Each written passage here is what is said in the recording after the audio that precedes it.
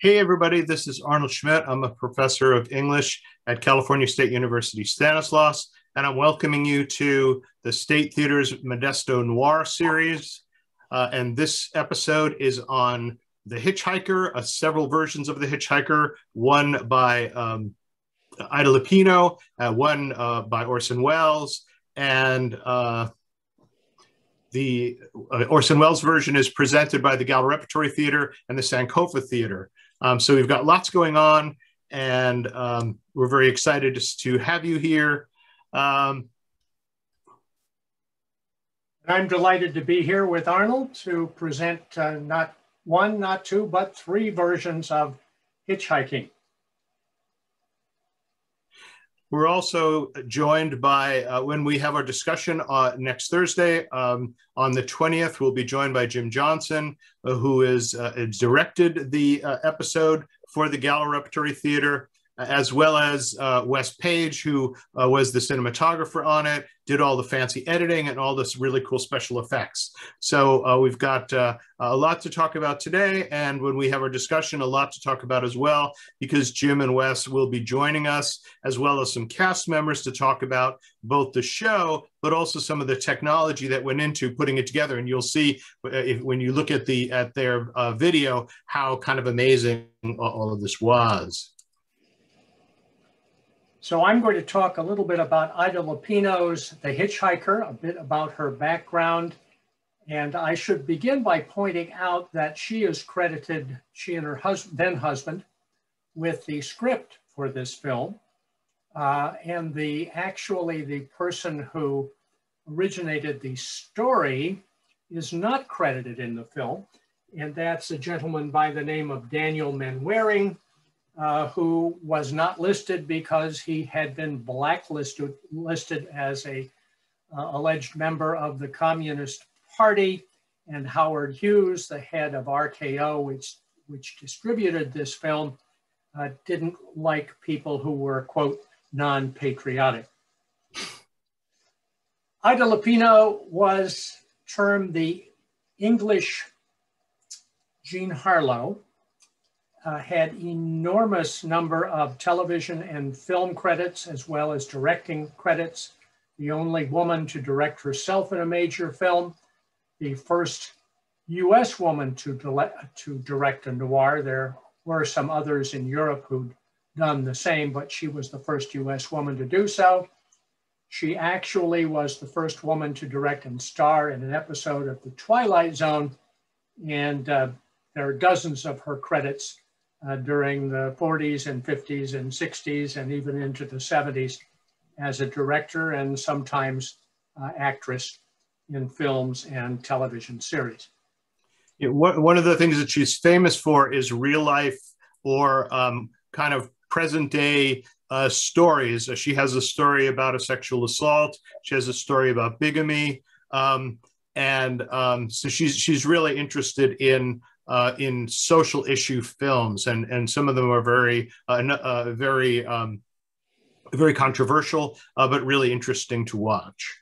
Sometimes termed uh, a woman's director, a director of films that appeal to uh, females, which is kind of ironic when you look at this particular film, which opens, by the way, with this role that alleges that this is a true story of a man and a gun in the car. This is all attributed, by the way, to RKO's uh, publicists and a warning that the young couple across the aisle uh, could have been involved in this very situation. It's a 70 minute film. The facts are actual. Well, not entirely.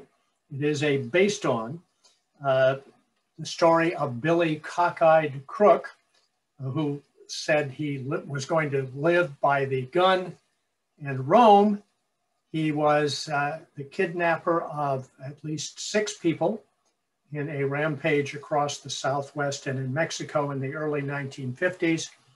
And Lupino visited him on San Quentin's death row and obtained a release to make the film about him. Now, you'll notice his, if you'll go back one, um, uh, one slide, Arnold, you'll, you'll notice his His hand is being displayed here, the back of his hand, and across the back of his hand was an inscription that said, hard luck. Kind of reminds you of the Robert Mitchum uh, Love and Hate um, from the 1950s uh, film. So if we go to the next film, we see an admonition from the Hays office which says no picture shall be dealing with the life of a notorious criminal of current or recent time which uses the name, nickname, or alias of such. Well, this is a barrier for filmmakers like Lupino. What's she going to do? So if you go to the next slide, you'll see that she said, I wanted realism to appease the censor at the Hays office. I reduced the number of deaths to three. So like, like many directors from the era who were laboring under the Hays Code in the Breen office, they found ways to get around the rules that uh, were imposed upon them by the censors. Fascinating cast. William Talman as Emmett Myers. You may recognize him from the Perry Mason season, uh, uh, Perry Mason series, where he played the district attorney who lost all but one case against uh, Perry Mason, and that was on a, technicality, as I uh, recall. Uh, Cook, the, the person on whom the film was based, was short and stocky and had a cleft palate and an eye that never closed. Talman, on the other hand, was tall and lean and older and made up with an eye that never closed with a prosthetic device, which was very uncomfortable but made the character. The other two characters in the film, major characters Frank Lovejoy as Gil Bowman and Edmund O'Brien as Roy Collins, whose uh, fishing trip is cut short by Mr. Talman, Mr. Myers sitting in the back seat, partially obscured by the lighting. Uh, we could go to the next one. Oh, I should point out that at the outset of the film, uh, Emmett Myers asks the two gentlemen uh, what they did for a living. And he discovers that uh, Frank uh, is an engineer and that uh, Roy is uh, a mechanic. And he says to Frank, well, you're the smarter one. And you will note in the film how differently he treats the two men.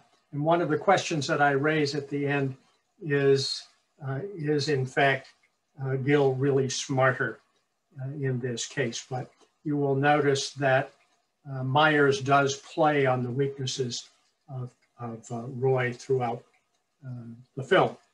Yeah. So something to, to, to, mention here is you see this image of the uh, car in the desert.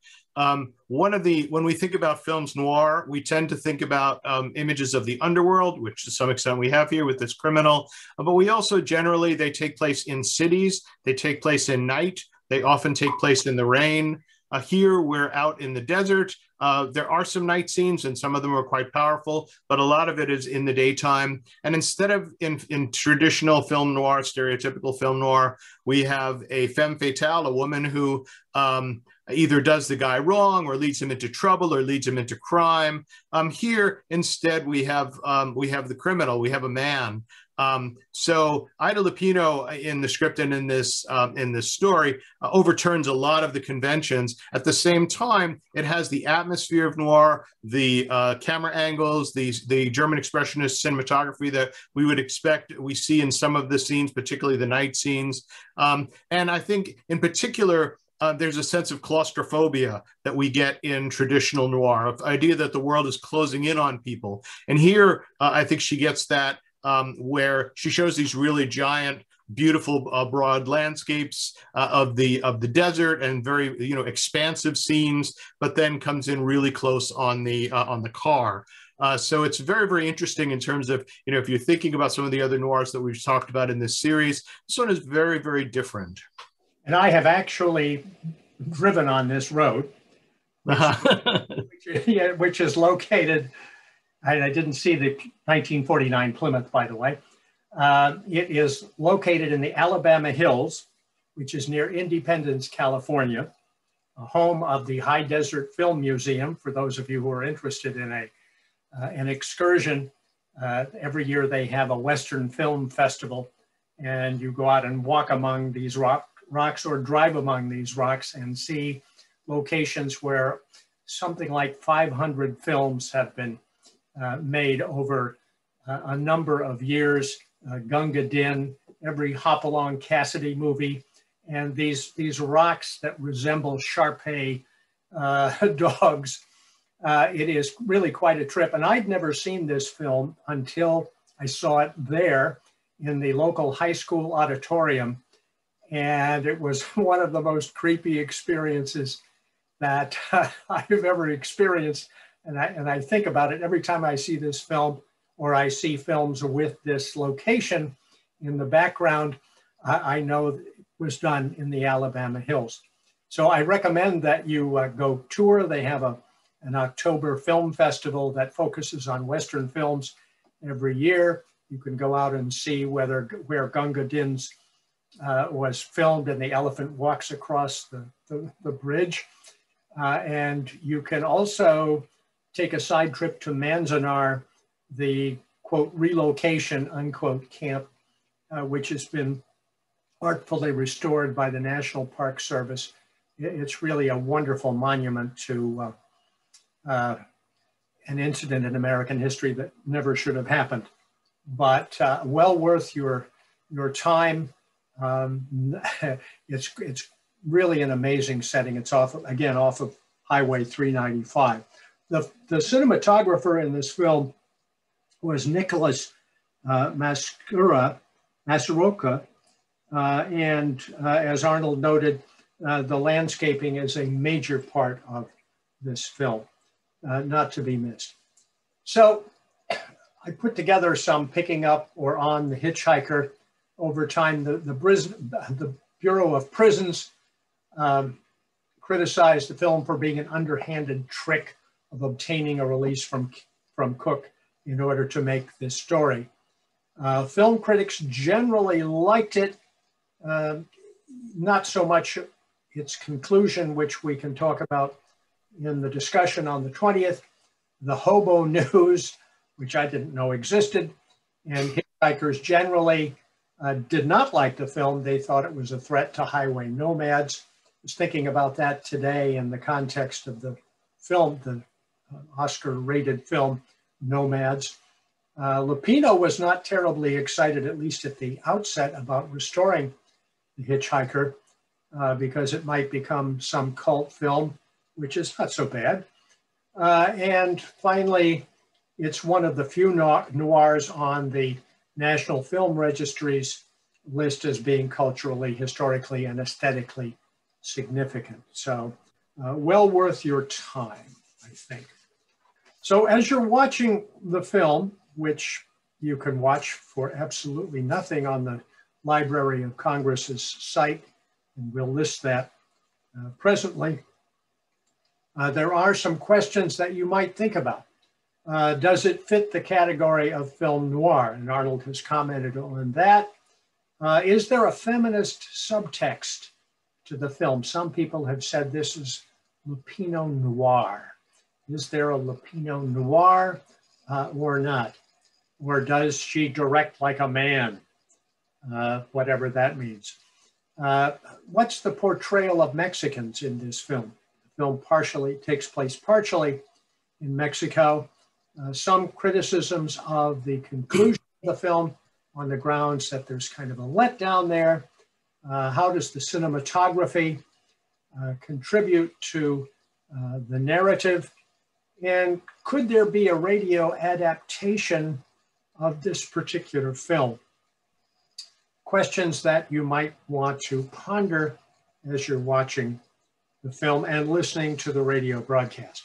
Good. And, I, and just to jump back to that notion of the feminist uh, subtext, there's a lot of really interesting critic, uh, you know, kind of scholarly criticism about this because it's on the one hand, it's a buddy movie, and buddy movies are always kind of homosocial, you know, male bonding or female bonding in the case of a female buddy movie, a buddy movie. Um, but so there's there's that kind of an element that's going on here. But the other thing is that it, in, there are many instances, and, and film scholars have talked about this, of the men cooking and doing domestic tasks. In other words, they're taking care of each other. They're they're doing things that are um, in you know certainly stereotypically and certainly in you know 1950s America are seen as feminized activities. And so there's a way that um, masculinity is very much um, investigated here. Um, uh, you know, the, the issue that uh, that Randy raised earlier about who is smarter. Um, you know, what do we mean by smart? Do we mean intelligence? Do we mean caginess? Do we mean psychological strength? I mean, there's there's so much uh, there's so many kind of aspects of this that, and she really does kind of play with this. So um, in that sense, it, it, the, the the issue of gender is very very interesting. And I would say, I think I think if you're thinking about you know people who talk about masculinity studies, there's there's a lot of very interesting stuff uh, to to think about here. These are three men in in very different situations, a very interesting power dynamic, uh, very interesting relationships, the the intersubjectivity between and among them. Uh, so that's that's another another way to to kind of think about this. So the uh, Gallo Repertory Company and the Sankofa Theater Company uh, have done the radio play, and it's important to kind of understand that these are two uh, these these are two um, narratives that have the same um, the same title, uh, The Hitchhiker, but they actually tell two completely different stories. Um, so this is uh, presented by the Sankofa Theater Company, which is uh, in uh, Modesto's African American theater company. They've done a lot of really fantastic um, uh, stuff. And um, they do it through the Gallo uh, Center and, and elsewhere. And the the screenplay for the, uh, the, the the radio play that they're doing is ba- is written by uh, by Louise uh, Fletcher, and she um, she was connected. Um, uh, she was married to Bernard Herrmann, um, who did uh, a lot of the um, uh, sound soundtracks for um, Alfred Hitchcock movies, um, but he's connected with the uh, Mercury Theater, and so she was able to. She got it to Orson Welles. Uh, he wanted her to, you know, she had this idea, and um, and so they they do this. Uh, there's a uh, his his radio group does this. Welles himself does this play four different times on radio. There's a series of of, of times he, it was very very popular, and he liked it a lot. Um, the production that that uh, you will see, uh, you know, this week when you go to the the websites that are at the end of this uh, presentation uh, by the Gallo Center Rep Repertory Theater, um, directed by Jim Johnson, and as I said, the the cinematography and editing and stuff by Wes Page. Um, that is based on this um, is, is is you know based on this uh, this script. Uh, Lucille Fletcher is a, a, New York writer. Um, she went to Vassar um, she starts working at uh, CBS uh, and then uh, works her way up. Um, she writes a number of successful uh, radio plays and other plays. Um, she writes uh, "Sorry Wrong Number," which um, is another uh, another story that we're going to be be talking about and The Hitchhiker. And The Hitchhiker, then, in addition to being a radio play that Orson Welles does four different times, becomes an episode in the first season of, of The Twilight Zone.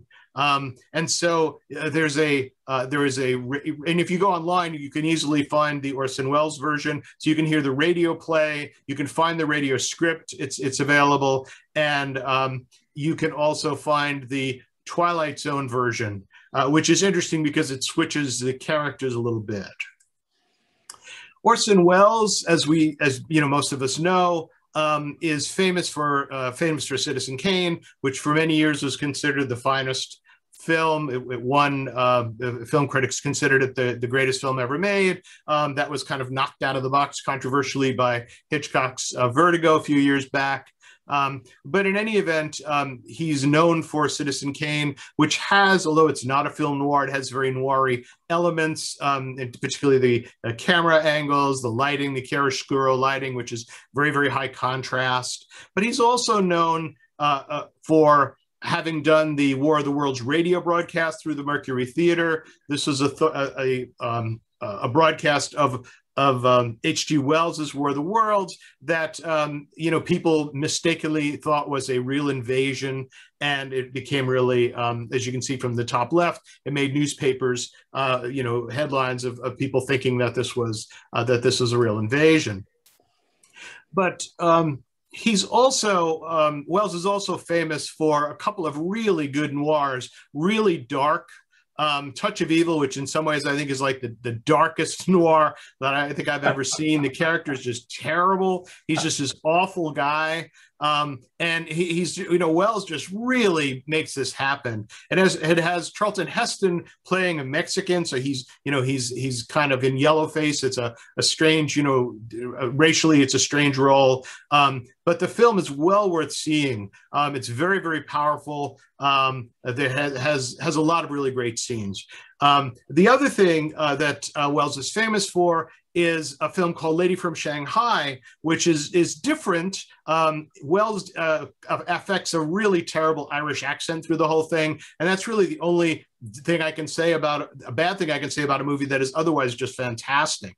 Um, it's it's really got amazing uh, relationship stuff and friendship and crime and love and all the or uh, the uh, you know something that seems like love. But but the what it's famous for among all of that those things is an ending sequence that's a shootout in a uh, in this mirrored hall um, that if you you know just go on google and google um, lady from shanghai mirror shots and you'll see this five minute sequence and it's really really amazing. Very much worth your time. So this is this is where welles is is coming from when they first did the hitchhiker in uh, 1941 uh, rod serling then um, does a version of this, as I said, in 1960 and switches the driver from uh, from a man uh, to a woman. Um, Randy, did you have want to talk about either of these two? Uh, no, I think you've covered uh, uh, the first version. The, the second one I think is is fascinating because of the gender uh, reversal and the the passenger, the difference in the passenger scenes between the radio version and Rod Serling's version. So yeah, and they're both they're definitely worth catching. Um, and actually, if you want to kind of make a, a trifecta of it, you can find them both online, and then you can watch the uh, Sankofa Theater uh, production, which um, the the theater group has done a series of um, of uh, really strong plays. Uh, the Piano Lesson, Freedom Riders, Fences, uh, Wilson's Fences, the uh, Raisin in the Sun, and uh, and uh, Wilson's Seven Guitars. Um, so the cast um, it comes from the Sankofa Theater, and this just gives you an idea of what Wes uh, Page will talk much more about on uh, when we when we have our discussion. But this was done with green screen. There's a real, or the car is real, the actors are real, um, but a lot of the backgrounds are are not real, um, or they're doctored. In other words, you'll see, and he explains this in in in the in the play itself in the beginning of it there's a little preface where uh, where jim and, and wes explain what's going on but they're actually um, taking contemporary images of like a store and then taking out the contemporary ads and putting in 1930s ads or 1950s ads. So it's very very interesting. The technology here is really interesting. The cast is fantastic. They're really good. Um, willie williams is is just really good. Um, and um, Cheryl Knox uh, as his mom, uh, Elizabeth Garman, who answers the phone when he calls. Um, the gas station attendant, Michael Baldwin, is really good. Mark Housey, as a storekeeper, he wakes up in the middle of the night. Uh, another hitchhiker, uh, Abby Nunes, who's really good and kind of vulnerable, but also smart and savvy. And boy, John Irvin is just fantastic as the as the hitchhiker. He's just so creepy. He's really, really good. So this is is just a fantastic. I mean, it's it's it's really good on so many levels. The performances are good. The script is good. Uh, the production is something that you're generally not going to see. Um, uh, you know, it's it's really kind of. I, I, think that Jim and, and Wes really took uh, the the limitations that COVID has placed on them as filmmakers and as as as as theater artists, and instead of seeing those as a negative, turn them into a positive, and really face those challenges well. It's a it's a very very interesting, uh, very interesting uh, uh, piece of um, a piece of film and piece of theater.